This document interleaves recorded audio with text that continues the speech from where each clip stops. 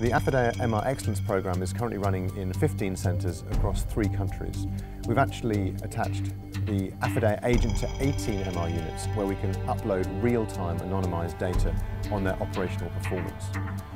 This, coupled with the process improvement that we put in place around the MRs and the systems, have shown real-time benefits. So in Lithuania, for instance, we've shown a 17.5% increase in productivity in our MR centres, which I think is a fantastic achievement.